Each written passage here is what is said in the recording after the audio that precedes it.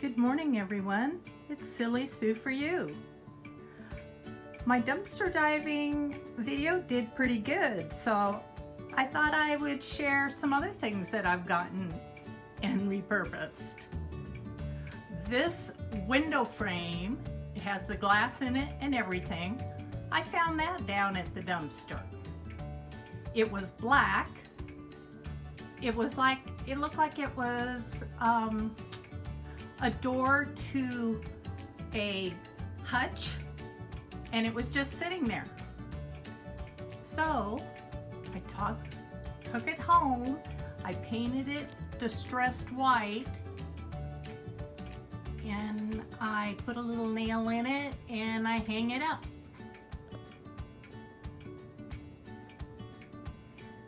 But a lot of you, you know, can repurpose a lot of things.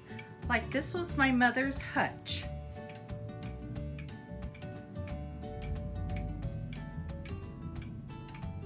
And it was just brown wood, very plain.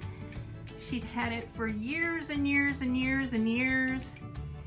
And I thought, I'm gonna repurpose it. So I painted it gray and then took a dark wax and distressed it and I absolutely love it.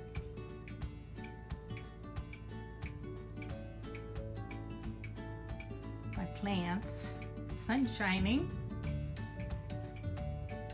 Another one of my projects was this dresser of drawers. It was my daughter-in-law's and it was black and they weren't using it anymore. So I whitewashed it with chalk paint, as you can see, in distressed look. I added the wood appliques, but it already had the crystal knobs. And I love it. I get so many compliments.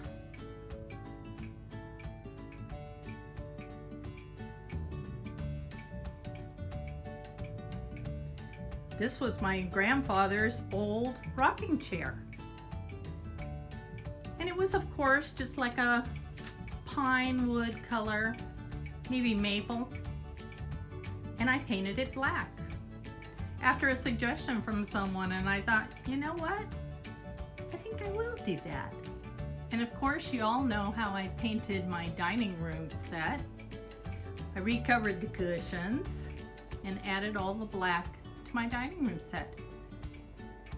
I also painted my hutch, which was just company